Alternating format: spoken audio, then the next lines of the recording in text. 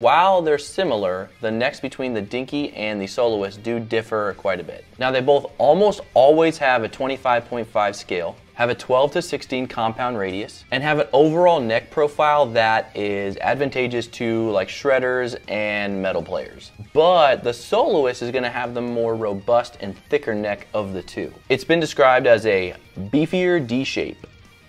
And the back of the necks tend to have a type of finish on them. Being that they're like a neck through design, the body finish is usually consistent with the back of the neck. This can be a point of contention for some, stating that the finished neck can be sticky and requires more frequent cleaning.